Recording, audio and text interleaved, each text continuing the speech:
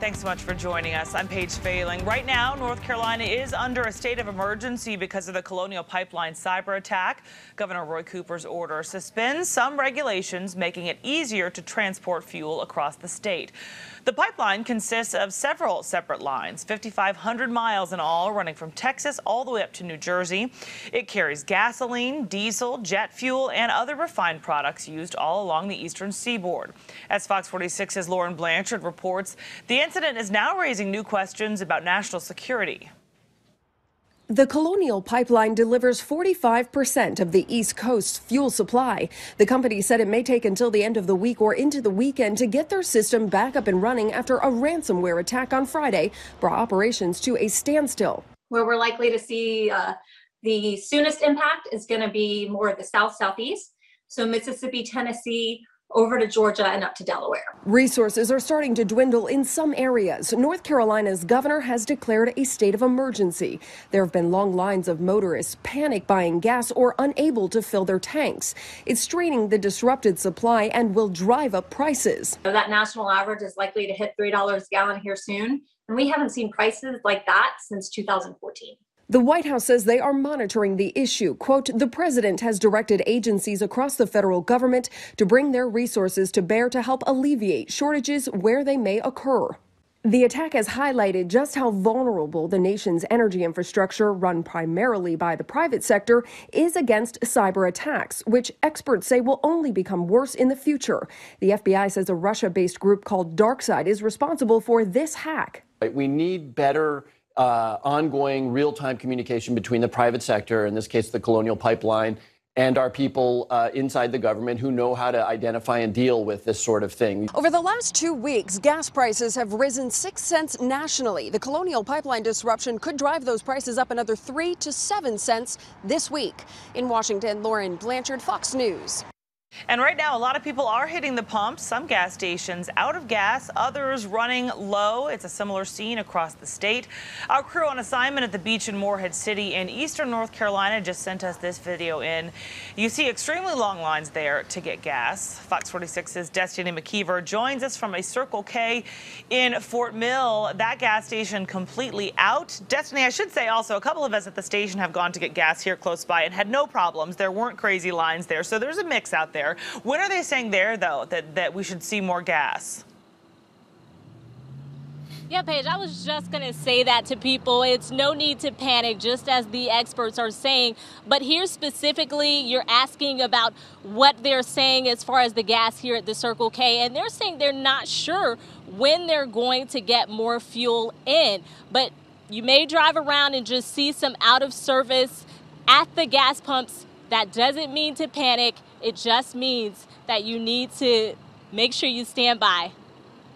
My saying is, it is what it is, you know. It is what it is. That's how some people feel living near this Circle K along Highway 160 in South Carolina. The gas station is out of fuel following the Colonial Pipeline cyber attack. The more we get into, I feel, the computer systems and so forth, the more we're going to be open for people to, to launch attacks on us through that Others are shocked by the attack, saying they spent the morning loading up on gas. I wouldn't expect anything like this. Heard it in South Carolina, leading up to North Carolina. Meanwhile, fuel experts say it could be quite some time before things are back to normal at least with gas. This pipeline is critical to the delivery of gasoline supply through the entire Southeast. Um, it ships millions of gallons of gasoline every day, and without it, uh, there's not a whole lot of alternatives. Fox 46 cameras capture people lined up to get gas on Wilkinson Boulevard in North Carolina.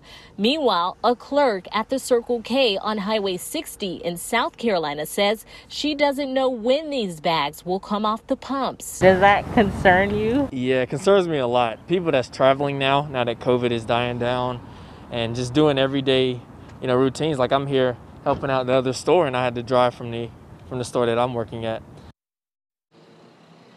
So, Paige, we know right now that the national average of a gallon of gas here in the States is about 279 per gallon. So that's up about 10 cents from last week. We will hear from a fuel analyst on what you should do as it relates to your gas coming up in about 15 minutes. Reporting live from South Carolina, I'm Destiny McKeever, Fox 46. Well, you can find the lowest gas prices in our area on our website, fox46.com. The lowest price reported is the Costco right now on Tyvola Road and West Park Drive. That's $2.44. American Airlines had to add refueling stops to two long distance flights because of this hack as well. American's daily stop from Charlotte to Honolulu, Honolulu will now stop in Dallas. The first flight left about 20 minutes ago. It'll arrive there in Dallas for refueling by 1:33 p.m. Then won't leave for an hour. People will get to Hawaii a little after 6. The flight from Charlotte to London will stop in Boston to refuel. American Airlines is estimating a return to normal flight schedule by May 15th. And right now, Fox 46 chief political correspondent Emma Withrow joins us. Emma, our local and national lawmakers have responded to this hack. What do they say is being done on their end? So to start off, Paige, Cooper's state of the emergency will temporarily suspend motor vehicle fuel regulations to make sure our state will have enough fuel to maintain steady operations there. And we actually just got a statement from South Carolina Congressman Ralph Norman, who sits on the Cybersecurity and Infrastructure Committee. He says the bigger issue is from a national security standpoint, calling the cyber attack catastrophic. Now, the White House is closely monitoring the situation with its own state of emergency, saying, quote, the federal government is working actively to assess the implications of this incident, avoid disruption to supply, and also help the company restore pipeline operations as quickly as possible. So it's clear lawmakers are learning more information by the minute as we are, and White House officials said they haven't offered advice to the Colonial Pipeline over whether or not they should pay the ransom money to the hackers. That came out yesterday, and I'm talking with North Carolina Senator Thom Tillis this afternoon. We'll share his thoughts tonight. Paige. Fox 46 is committed to bringing you the best coverage of the Colonial Pipeline hack. Just use your phone right now to scan this QR code on your screen. That will take you directly to the Colonial Pipeline page on our website. And there you'll find all our stories on the Colonial Pipeline ransomware attack, as well as the Colonial Pipeline gas spill in Huntersville. Remember to stay with Fox 46 News on air and online for all the breaking updates as this story progresses.